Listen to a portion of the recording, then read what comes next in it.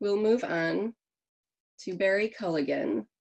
He is a reader, has been a reader for 20 years. He's the current president of Great Britain and Ireland Urantia Association, and his presentation is on becoming godlike. Take it away, Barry. Okay, I'm going to start my uh, screen share now. Um, let me know how that works out. Becoming godlike. This is a topic I'm uh, very interested in. It uh, forms part of the one of the fundamental spiritual cores of the Urantia book. The process itself in Christian theology is called theosis. And uh, we see there's different expressions in divinization, becoming godlike. Um, and it's there's a long philosophical tradition about it. It's uh, much more prevalent in the Eastern Orthodox tradition than it is in the Western tradition, although it is it is present there too.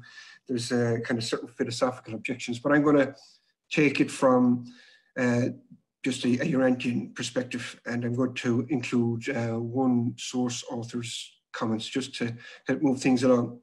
So, uh, let me see. Right.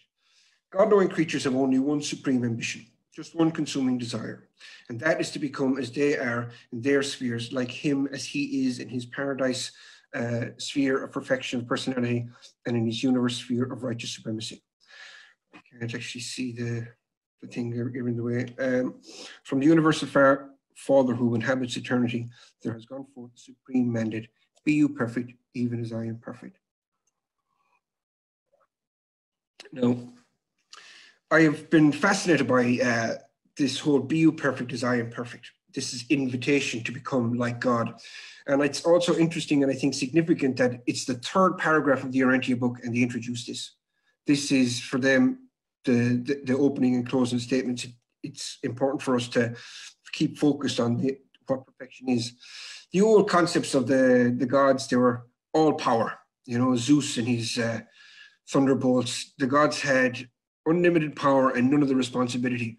But the God that, that we follow, the God that we believe, isn't like that God. He's a creator God like when we see the the old images of of gods, there were gods made in our image. It was all power, and he could or it could do anything it wanted. It was a god of vengeance and a god of cruelty, and in essence, it was the god that uh, reflected who we were. You know, um, evolution tends to make uh, God man like. Revelation tends to make man godlike.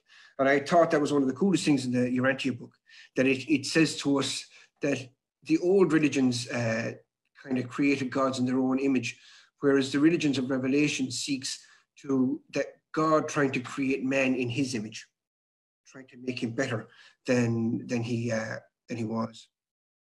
So when I was thinking of God during the week and thinking about this lecture, I was thinking about how God had unlimited power, unlimited possibility, and the thing that He decides to do is create a universe where joy can be multiplied where wonderful things can happen, where horizons are endlessly expanding, where joy is endlessly increasing and revelation is endlessly broadening. He created a universe that could be shared that was absolutely fantastic. Instead of just doing something selfish, he did something selfless and created a space to be shared, to have shared joy, shared hope, shared adventures, you know, and that is uh, quite inspiring. And when we, we look at, at God as our model and becoming like God, we need to look at, say, all the power and ability and opportunity we have in our, our lives and how we can use that power and ability to enhance the lives of others. And in doing that, we do become like God in our ideals, in our aspirations, in our hopes, and in our efforts. Um, so we see this comment here spiritual greatness consists in an understanding love that is godlike and not in an enjoyment of the exercise of material power for the exaltation of self.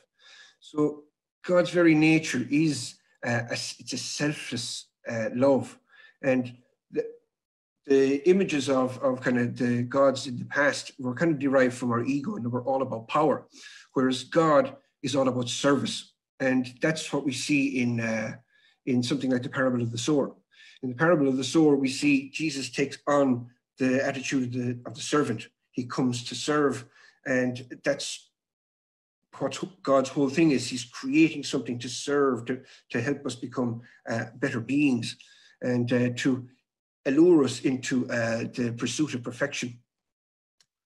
Okay, so this particular guy here. So what I want to talk about is to, what sorts of things interrupt us or, challenges do we face in this pursuit of perfection, in this pursuit of uh, godlikeness, of our godhood, okay? We have one thing, our material bodies. Our material bodies, so, and we are born in a particular time and place. So we are conditioned by our material form and we are conditioned by our culture. This particular fella that you see here, his name is uh, Ivan Pavlov, and he did an experiment with some dogs and became known as Pavlov's dogs.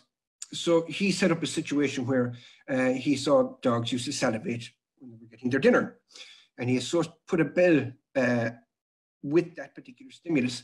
And eventually the dogs learned to associate the bell with the food so that when they rang, when he rang the bell, they began to salivate uh, before the food was even presented. Okay. So our experiences in life condition us to act and live and behave in a certain way. And that sort of conditioning, it kind of becomes a framework or a structure to help us uh, to grow, but it can also become a prism. So here's a story, the story of the 10 monkeys. I don't know if you're familiar with it, but I'll go through it for you for now. Okay. Once upon a time, scientists put 10 monkeys in a cage. In the center of the cage, there was a step ladder. On top of the step ladder, there was a bunch of bananas. Now, as the monkeys spotted the bananas, they began to walk towards the, the step ladder.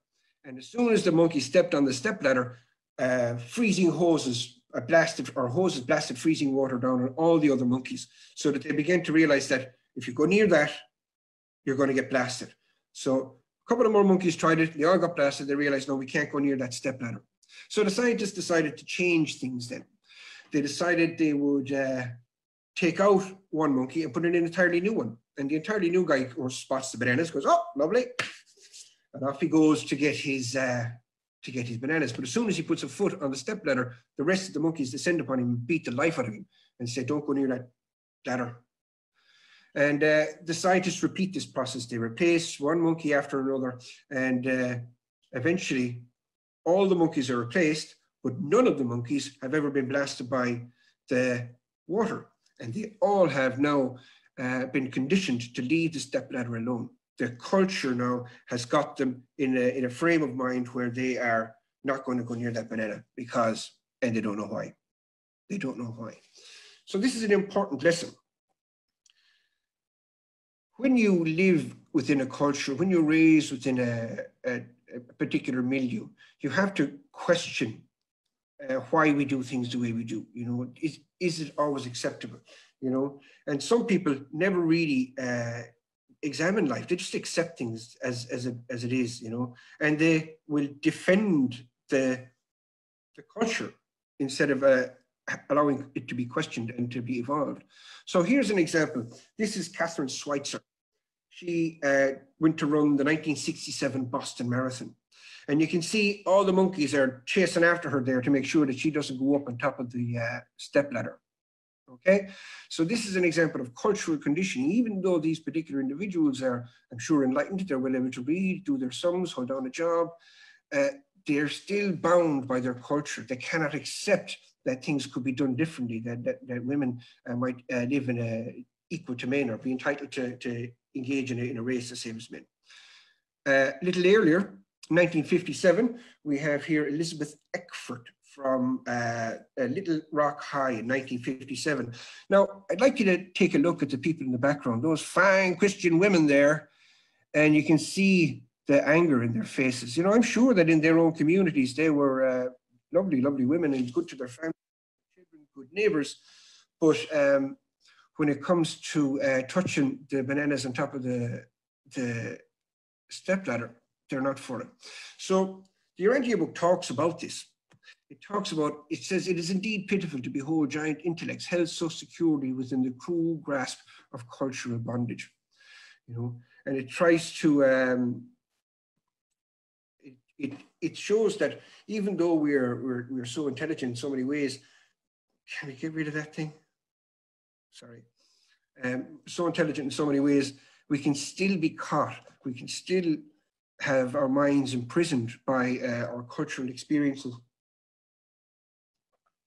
and by our physical experiences. And we can't really uh, do anything about that so long as we're not conscious of it. So here we have a picture of Homer. So on the good side, we've got the angel, which is the urge of the angels, the indwelling spirit, um, the, the, the spirit of truth, all those things which are encouraging us into the pursuit of perfection and in the acquisition of the dignity of the child. And on the other side, then we've got our material nature with its weaknesses and its strengths, its uh, conditioning and stuff like that. And there's always a, a wrestling match going on there. Now, we can't fix things that we're not aware of. Like, for example, I don't know if you've ever met anybody who talks really loudly. Uh, they can really bellow and they, they're not conscious of the fact that when they're speaking, they're just, they're so loud, or maybe they have a terrible BO problem and they're not aware of it because they can't smell themselves, you know. And it's not until somebody says, you know, John, you need to keep it down a bit, or, or Jack, you need to, to have a shower, that they can actually do something about it. And when it comes to uh, improving ourselves, we can only improve the things of which we are aware. So I like this image. It's, it's very interesting. Uh, man cannot remake himself without suffering, for he is both the marble and the sculptor. So we are the, the thing that we have to work with. We are the raw material, you know, and the this uh, being being refashioned, being perfected is uh, difficult because it, it, it necessitates the cutting away of the unhelpful the harmful, toxic patterns of behavior that we've lived uh, with before, you know. It's another example, similar. So we begin in our imperfection and we pursue uh, the perfection of our character so that we can emulate in our lives uh, the life of God. Um, and it takes effort, it takes struggle. You know, it's not it's not easy, but it's always worth it. One of the questions that you need to ask when it comes to the pursuit of perfection is, would a more perfect me be happier than I am? Would a more perfect me have more love in his life, more hope, more peace, uh, more joy, more friends, uh, better health? You know, the pursuit of perfection means the pursuit of a richer life, richer in joy, richer in peace, richer in love, richer in wonder, richer in revelation. That's what, when God invites you to perfection, He's inviting you to the attainment of something magnificent, uh, the, the, the magnificence that, that you could be. Okay, that's what you're invited to. And why not?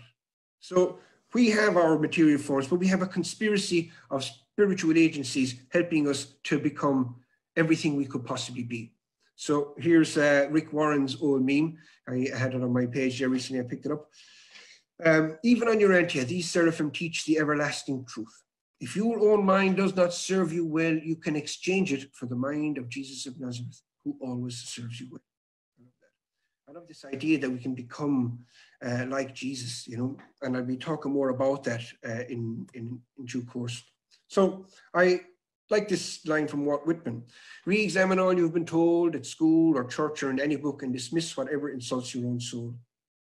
Um, I think that's that's uh, so important uh, for me, you know, to, to have the cult, to have the, the strength of character turn around and, and reject the the way the herd is going. You know, uh, that takes an awful lot of character. It takes it takes strength to turn around and say, no, I, I need to find my own way. To follow the beat of a different drum, uh, it, it it requires uh, a kind of a pioneering spirit and an indomitable spirit. You know, uh, to and to dismiss whatever insults your soul. I know in my own experience, one of the biggest challenges I had is after I found Jesus was. Um, uh, he, he was kind of locked in tradition you know, I found Jesus uh, through uh, evangelical Christians, through the evangelical work of, of uh, Christians who were Bible believing. And the problem I had was that uh, their tradition was full of hell and doom and death and darkness. And I was just like, I can't, I can't, I can't buy that. Can't be true. I believe Jesus, but I don't believe that the, the, all the traditions about him were true. And so I had to uh, go my own way and uh, search for uh, Jesus, and I, I literally handed it over to Jesus. You can you can help me find an answer to my problems, and uh, because I, I I can't accept that the theologies that they're offering me are true, you know. And uh, within a few weeks, I found the Urantia book, you know, and that's as you can see, 20 years later, here I am. Now, so the key is know thyself. Like the, the practice of theosis from within the Greek tradition uh, it's all about understanding yourself, and you see that in, in the scriptures too. That the, the, the the prophets are always saying, set a watch on your tongue, you know, be be watchful, always be alert to to sin entering into the soul, into the temple, you know, that that you might uh, entertain uh, an unsavory thought. Okay, so this this picture I use to to make a, a point. So we have a material body, we have a mind. Now, a seed, a seed for a flower has uh, two key drives. It has a geotropic drive, which drives roots down into the ground, and it has a heliotropic drive or a phototropic drive, which causes the flowers to go up to the sun. And in this way, it's nourished and it grows. You can see these flowers are turned towards the sun. Now, we being spiritual beings, we also have what I call a theotropic drive, uh, an urge for God, you know, and that that soul turns to God all the time, and it's always looking for the sustenance of spiritual light, the of spiritual ideals, of truth, beauty, and goodness. We need those things for our soul. We need hope, like, and uh, like we need food for our body, we need uh, information for our mind, but we need uh, spiritually sustaining realities for our soul. And in the absence of those things, uh, we can die. Like you'll die so long without uh, bread, you'll, you'll only live so long without an education. But uh, in the absence of hope, in the absence of love, uh, in the absence of faith, your your existence is uh, the clock is ticking. The clock is ticking. They, they're they're really important, even though they're not something that you can eat with your uh, with a fork. You know, they're still real, they're still significant, and they have to be held on to. So we have to nurture our spirit, self, our soul. This is important, okay? Because it's an aspect of us and it is a working aspect of us, okay? Now, I wonder can I move these uh, images here because it's a bit distracting. Great. Um, man is this this guy's James Allen. He's a source author for the Urantia book, and he's got some fantastic stuff. And you can get his books from Amazon for like eleven quid, and it's like seventeen books. It's great, great stuff. So man is unmade, uh, man is made or unmade by himself. In the armory of thought, he forges the weapons by which he destroys himself. He also fashions the tools with which he builds for himself heavenly mansions of joy and strength and peace. By the right choice and true application of thought, a man ascends to the divine perfection. By the abuse and wrong application of thought, he descends below the level of the beast. Between these two extremes are all the grades of character, and man is their maker and master. So we have the power within us, and even the Urantia book speaks specifically about mind being the key arena through which we affect all these transformations of character. Now, one of the things I would like to, to focus on, this is one of Gary's um, uh, memes, he makes such beautiful work. Uh, props to Gary. Uh, true liberty is the fruit of self-control. Now, the Urantia book talks about all those spirit poisons of hate and anger and prejudice and jealousy. And one of the things it, it talks about is anger is a symptom of losing control. You know yourself when you want things to go a certain way and you start getting angrier and angrier until eventually what actually happens is you're you're losing control. And if you've ever lost control and temper, you'll know like you know you'll always emerge from the other side of it uh, with a little less dignity. That's the nature of, of the of anger, you know. So liberty is the true liberty is the fruit of self-control. There was uh, an old French author by uh, the name of Auguste Sabatier, and he once said that uh, uh, duty is the substance of liberty, and liberty is the form of duty. And when I began to think about that statement in light of the teachings of the Urantia book, I began to see that uh, love, because love is greater than duty, love is the substance of liberty. And liberty is the form of love. So, so long as we are held embraced by love, uh, we actually have uh, liberty. You know, so we know that when we're coming from places of anger, from places of jealousy, places of resentment, uh, that we're not uh, coming from places of the spirit. We're not walking the path of the spirit. We're not in pursuit of the divine as we could do. You know, fear and shame are unworthy motivations for religious living. And I like that. One of the cool things in the Urantia book too, uh, that Jesus was always a positive teacher. You know that he, what was it? He said to, how could one hunger for something not to do? You know, his idea of love was it was like an addictive, growing, transforming energy, which the more you uh, became uh, caught up in it, the more enthralling it became, so that your life was uh, taken over by love and was filled by uh, the beauty and value and the liberty that comes from uh, following love, you know. And we know when we're not giving into to when we're not allowing ourselves to be to be ruled by love, we're we're not really following after God, you know. Even though some people will uh, claim righteous indignation, oh, my anger is a holy anger. That's usually just self-deception. Um, happy and effective person is motivated not by fear of wrongdoing, but by the love of right doing. And we all love that. You know, we all enjoy uh, bringing joy to others and helping them uh, live happier lives and sorting things out for them. And Jesus was always, always had his eye out to uh, to help other people. You know, he'd gladly stop a, big session with a lot of people just to help one old lady move her bags. You know, he was that kind of guy, and he enjoyed it. He enjoyed it and we will do too. So here, the fruits of the spirit. These are this is where the rubber meets the road really when it comes to how the eternal integrates with time. We are asked to bear the fruits of the spirit, and I showed you a seed earlier on that had uh, that was pointing towards the sun. And in our lives, we're supposed to bear these fruits, and we're told that if these fruits are not in in being born, then that person isn't for real. Now, when you look at these things, they're all very special joy, peace, patience, kindness, generosity, faithfulness, gentleness, self control. They're, they're, they're great. But in, Jesus points out again in order to do the works, you have to have the, the energy, you have to have the spiritual energy to perform these things, to bear these fruits. It's the same thing again. Okay. Now, the Urantia book makes this fascinating claim spiritual life, like physical energy, is consumed spiritual efforts result in relative spiritual exhaustion. It's important, kids. So when we think of spiritual exhaustion, then that means we we we're running out of the means where, whereby we can manifest these fruits. We're running out of the means whereby we can be patient. We're not as kind anymore. We're not as generous. We're running low on joy. Our peace is evaporating. We're not as gentle. We're kind of rough with people. We're abrupt you know, and self-control begins to vanish. We're easily angered. We uh, lean into the liquor or into the drugs or whatever it is, distraction that we, we in order to avoid uh, looking at the, the thing that's bothering us.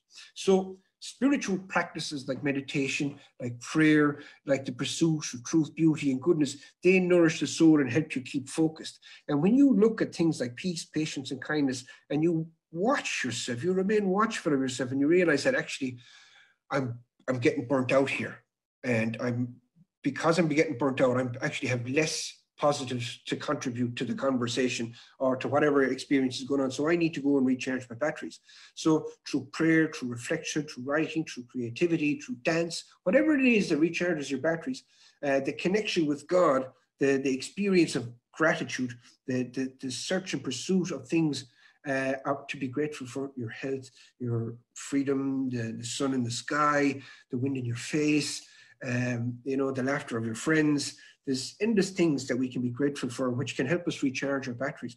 And in our pursuit of uh, our being godlike, we need to be conscious of uh, those habits which tend to uh, sap the spirit, which take the joy out of our life, which uh, rob us of peace, and find ways to enhance and increase these things, to bear these things abundantly. This is what Jesus said is one of the most important things we can do in our whole lives. You know, so giving specific attention to these uh, fruits and their presence in our life and the giving them away to others is really important. But I, when you look at things like this, like uh, you know, kindness, patience, forgiveness, like patience means somebody's trying you. you know, forgiveness means somebody has done you wrong. You know, Jesus didn't allow the the how would you say the fallen nature of others to dictate whether or not he should love them. He didn't give tit for tat. He always responded with the more positive thing, and uh, as a result of that, was a victor in his life completely. You know, he didn't allow himself to be taken over by his anger. Uh, so again, this, this uh, particular quote is evidence of true spiritual development uh, consists in the exhibition of a human personality motivated by love, activated by unselfish ministry, and dominated by the wholehearted worship of the perfection ideals of divinity. And I've contemplated those ideals a lot and the, their importance in our lives. And when God uh, speaks, like you know, and tells us to be perfect, even as He is perfect, and that it's not, it's it's a thrilling adventure to the actualization of a richer existence.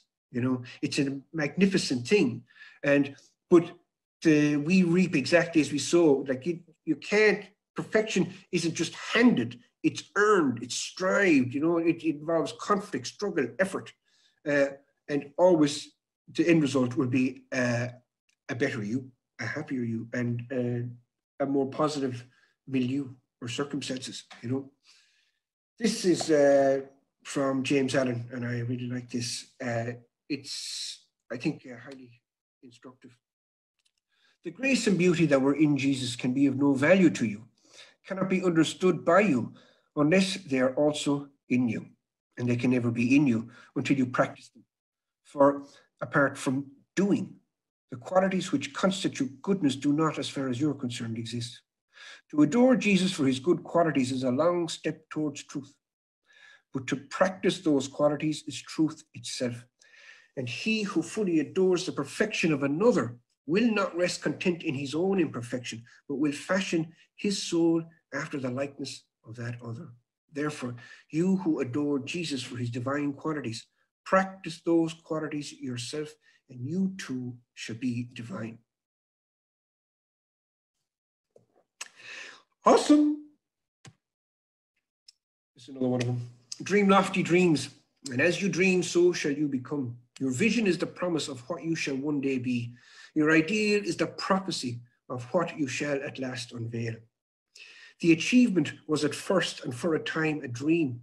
The oak sleeps in the acorn, the bird waits in the egg, and in the highest vision of the soul, a waking angel stirs.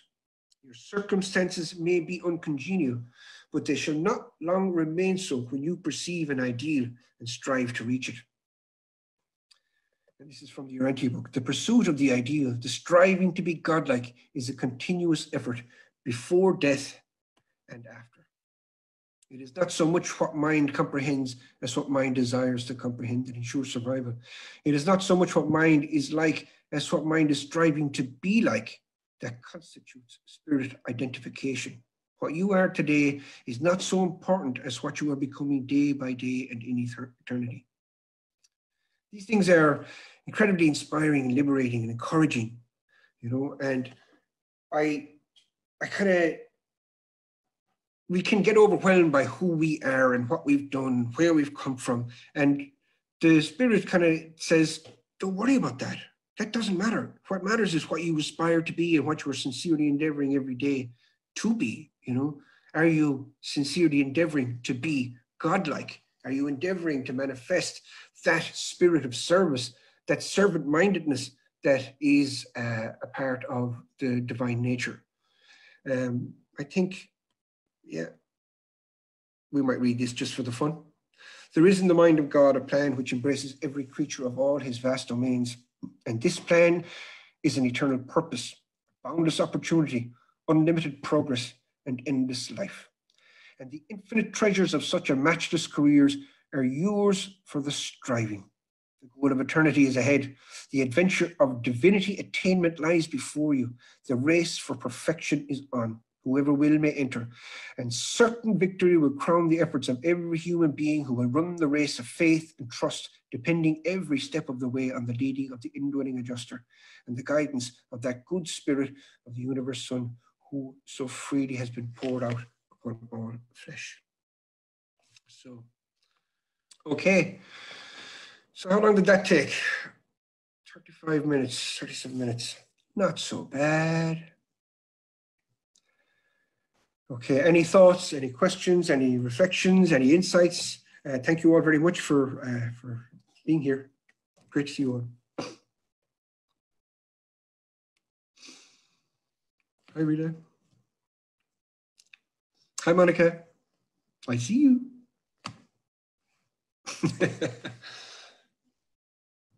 okay. So yeah, that that topic you could uh, you could discuss all day. Um, I I love it. Um, there's a there's a lot of ways you could spin it out. Like I've been uh, given courses and uh, things like this for for a while now. You know, I've been very very interested um, in helping people uh, realize their potential. Um, for me, the divine within you is uh, is basically the, the best thing of you. You know, and uh, the more you can get it out of you, the more you can get out of your own way, the the, the happier things uh, will be in your life. You know, and it's not without struggle. It's not without struggle. Um, the following God is uh, never ever going to be an easy uh, task. You know, um, especially if the angels are on your case because they love to give you a hard time, which I know from personal experience. I'm a man of many sorrows, uh, but yeah. No, I can keep talking until somebody asks a question or somebody has a hand up. A Carol Engel Enright. No. No, Barry. It's Rita here from Australia. Hello there. Hello. I look. I just just laughed. You were very quick in talking. I had to turn up my ears to really get it all in. Sorry, I do that. I have a habit, especially when I get excited. Sorry. Yeah, no, good thoughts, good excitement too. Now, look, you mentioned, or you had uh, one quote up from somebody that you sort of referred to as it was the source, the so uh, one of the source authors for the Urantia book. Yes. Look, I just uh, something struck me yesterday, and I went on to a site and I read this. I just wonder if you can remember, all of you, that sentence: "The function of prayer, or or or similar, the function of prayer." is not to influence God, but rather to change the nature of the one who prays. Mm. And guess who that is from? Søren Kierkegaard. Ah. Right. So that would be somebody to look up. Oh yes. And- Yeah, I mean, I didn't go through them all, but I thought this one, I know that one. That's book. yeah, I've uh, I've often to me prayer is one of the key ways to to affect uh, victory over the flesh. You know, we we we have all sorts of um, bad habits, and for me, prayer is one of the best ways of of uh, tackling uh, bad habits. You know, prayer and of course meditation. You know, uh, meditation helps you uh, maintain uh, to be mindful. You know, to, to, to kind of not watch your watch what you're thinking up here and say, okay, God's way, not your way. you know, Yeah, to, yeah, yeah. make a distinction between the the the I would say the impulses of the flesh and the urgings of the angels. You know, That's right. And even if, even if we're doing it wrong, yeah, prayer is communication with God. And like we said earlier, sharing your inner life. yeah, And, you know, once you start doing that and expose yourself to the light, so to speak, then they can start to tweak you and pull you in and yes, you'll come right. I mean, I, I have got no worries about these things because luckily, uh, you know, you, you trust in the process and you trust in the promise that you will be, you will be and you are taken care of. And so I just muggle through and get my my shoes dirty. yeah. I, I was uh, read a thing there recently said uh, it doesn't matter how uh, weak and confused your prayers are, because what matters is the one to whom your the prayers are addressed. you know. Yes, yeah, he's the guy. He's got it figured out. Yeah. I've got only one red telephone, and that's and that's yeah, to up high. Yeah, thank you, Barry. no, thank you, thank you. We've Yeah. got a hand raised from Carol Engel Enright. Hi, this is Carol. I'm in Colorado. Hi. My Hi, question is, I, I come from an evangelical background as well and am new um, to Urantia. And I found, uh, so I loved your talk. I loved um, you. how, you- how you were talking, especially that picture of the marble and, um, and cutting through the marble. Mm, Um, I teach at a university and I find this new generation, um, um, they're, they're seeking so much and, um, and they, they have such a swayed vision of God and certainly of Jesus. And I just wonder if you're ever working with young adults and how we could um, how can how can we talk to them and how can we lead them to a book that is so deep um, that requires that requires such a depth of understanding um, and and they seem to not want to dive into um, or or is it just their youth? I'm, i guess well, that's part of it is youth. Like i i reflect on on my own experiences you know like when i was a kid i was incredibly angry bitter resentful and angry at god. And for a while i became a nihilist i didn't believe in anything. Uh, so i kind of see myself as a kind of case example of how, how do you talk to me when i was so angry with god or when i didn't believe in anything and i met at least so i met out i didn't believe in anything and i think the role of the shepherd is uh, important here. Okay, so if you notice a member of the, the, her, the flock is disappeared, so that, that's what children are. They're they're part of God's children. The key is to listen. So for me, when I'm with people, my number one thing to do is to try and listen to what's going on in them. You know, to try and see what they really need. Because I know myself, um, you know, even up into my 20s, I wouldn't have been able to accept the Urantia book. But there had to be a process along the way of growth to the point where I was receptive to it. And the most important thing, I think, that you can help somebody uh, find is a positive connection with the divine. If they can get a hold of that rope, they can pull themselves out of the hole. So an important part of that is listening to, to see where they're at, see where they're um, emotionally, intellectually, what do they have in terms of inspiration values.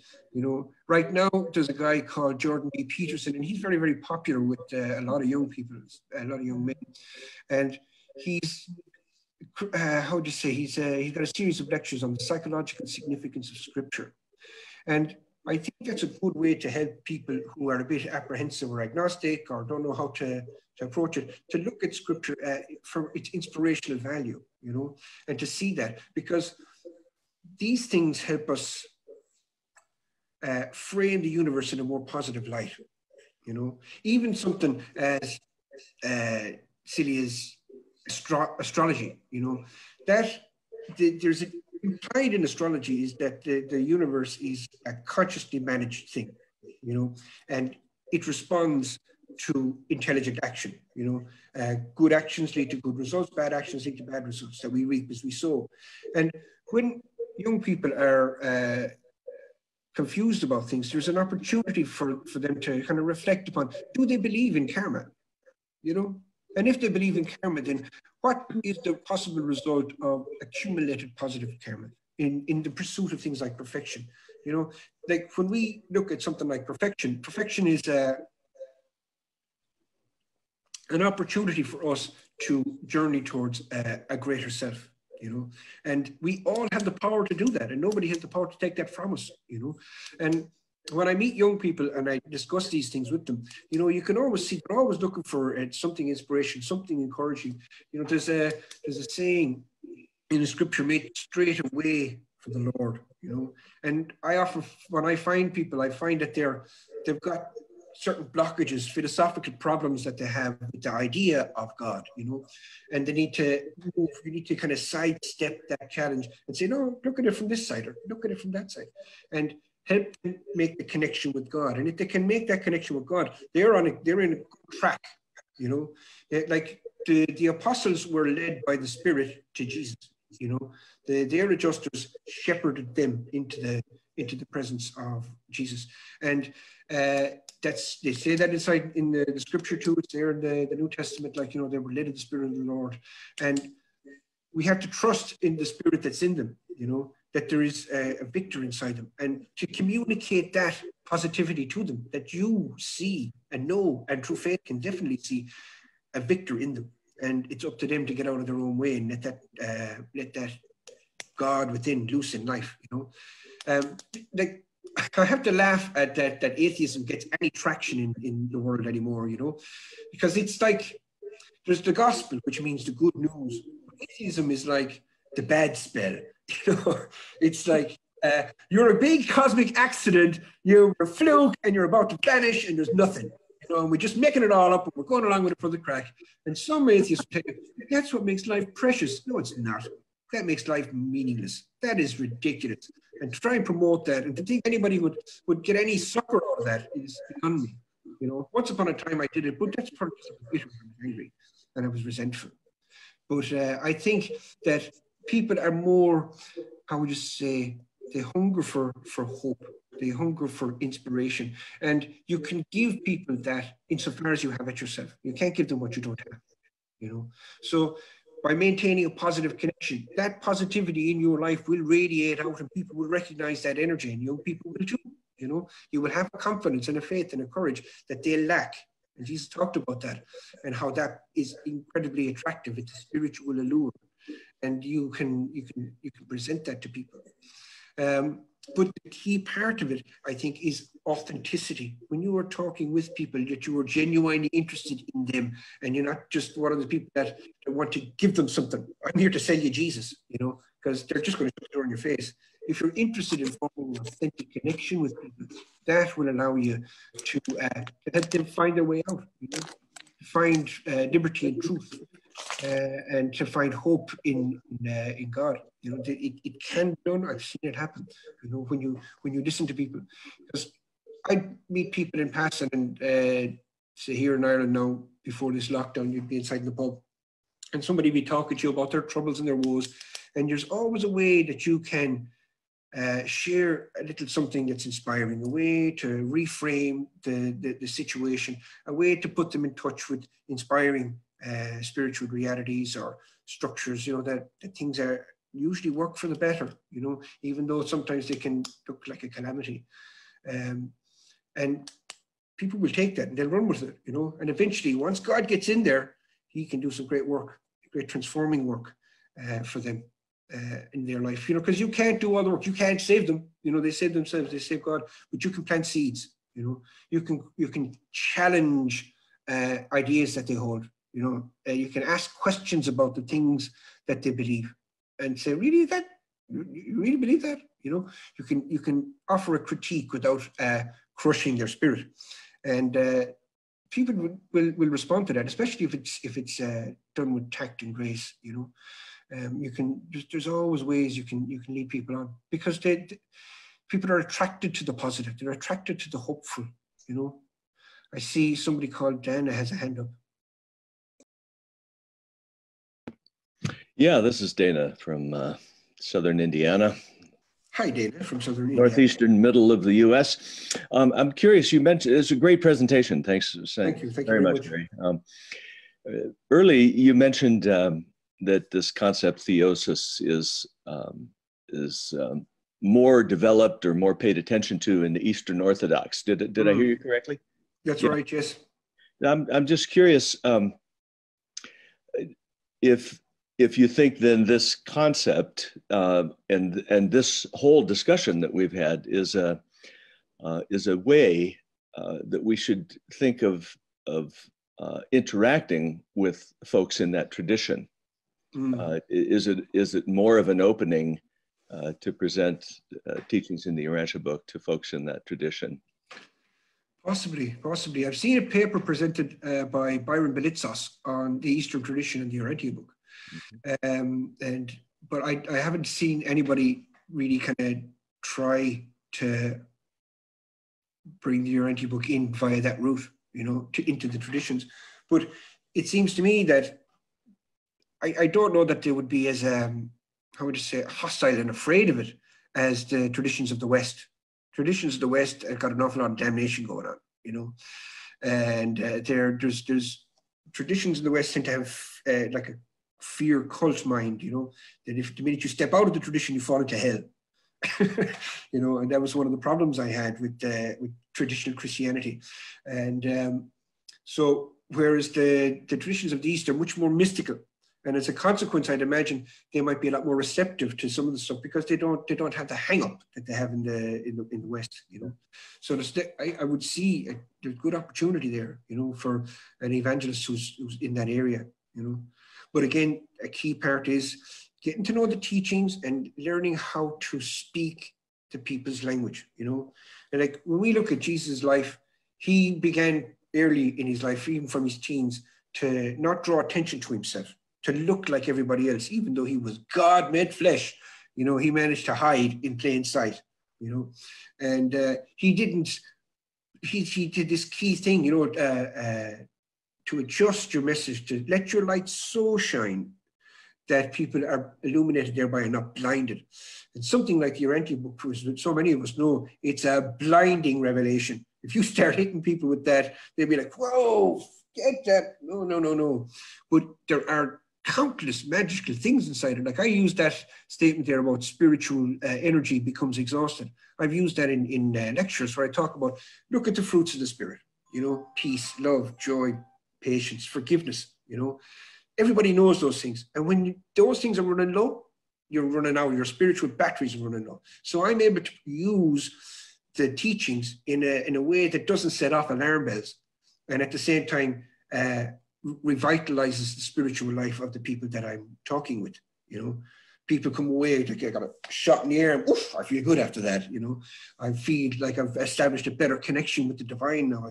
That that there's actually positive energy and intelligence around me and working for me and with me. So, uh, yeah, I can see opportunity, great opportunity in the Eastern traditions. Uh, but again, it's the it's you need to you need a teacher. You need somebody who knows how to sell it. You know, and uh, like you can like in Jesus' life, he, was always original but never eccentric. You know, and I think uh, in the Urantia community we were not short on eccentrics, and uh, that sometimes can make people kind of go, "Oh, I don't know if I want that." you know, so um, a key part for us is to to, like Jesus did, conduct himself as an honorable citizen in the state of Israel and to conduct ourselves as honorable citizens in the countries in which we live and upright neighbors and, uh, how would you say, kind of helpful countrymen.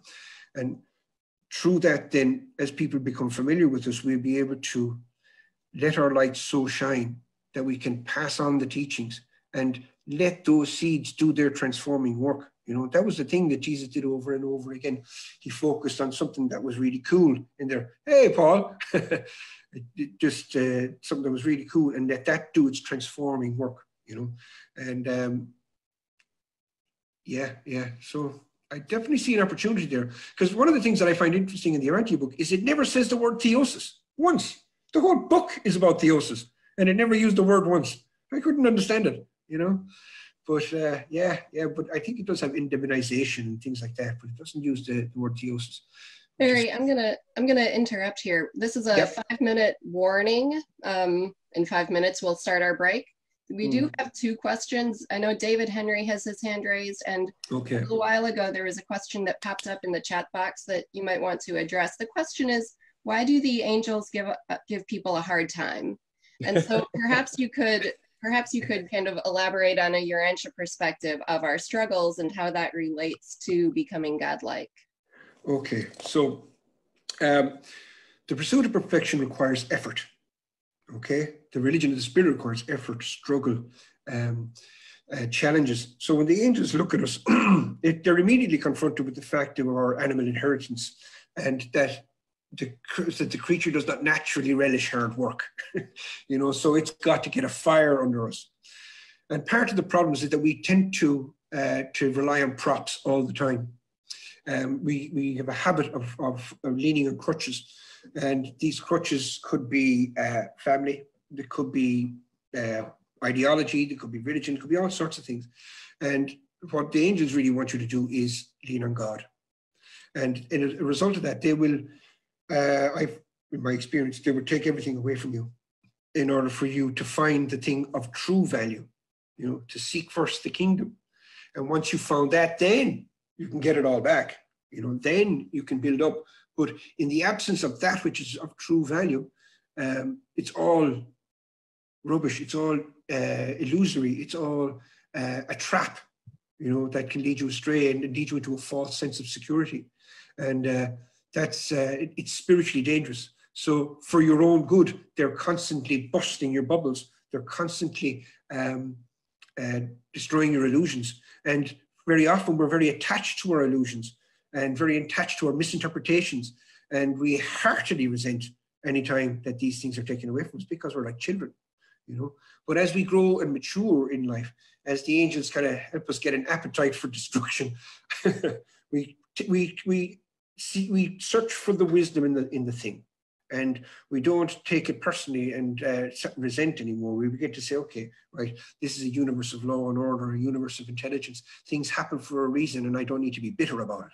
I can start looking for the reason and uh, look at what changes I need to make in myself in order to affect um, the actualization of my higher self or higher actualization of myself.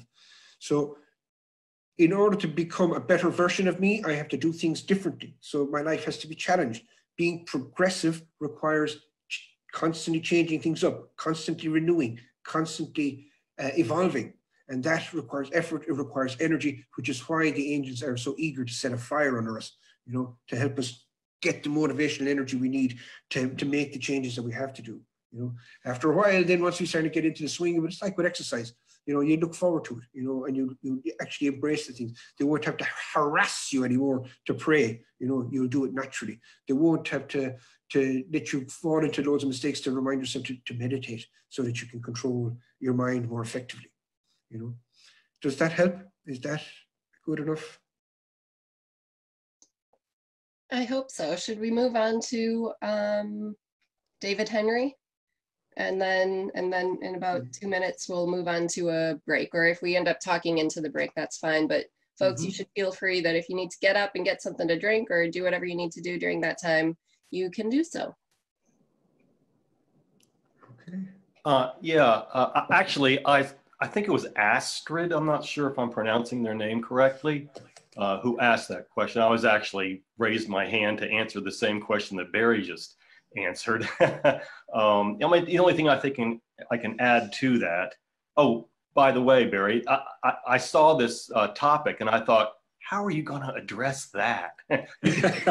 you, you did excellent. You did excellent. High Wonderful. five. Um, you know, um, when I'm talking to people and getting to know them and whatnot, and and they actually believe in angels, um, I share with them that one of the jobs of the angels is to actually put us in situations that help us grow.